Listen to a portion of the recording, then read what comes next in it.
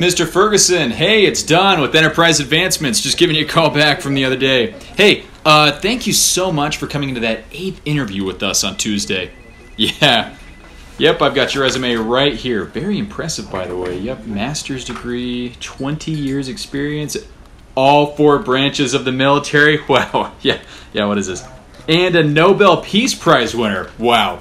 Wow. Yeah.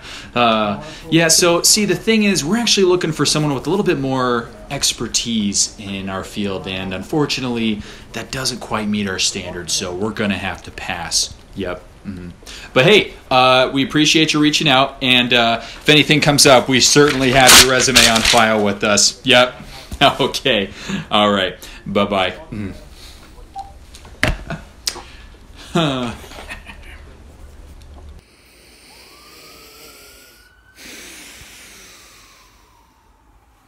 Let me get this straight.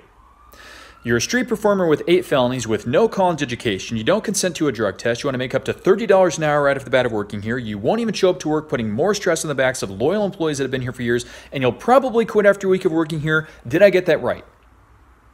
Don't even bother showing up for an interview. You're hired.